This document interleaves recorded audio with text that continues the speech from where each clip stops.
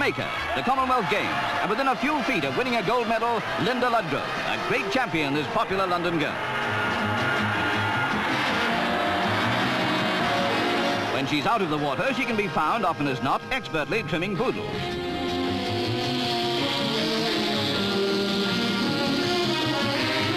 Linda's trophy should inspire the poodles to go out and pick up a few cups themselves.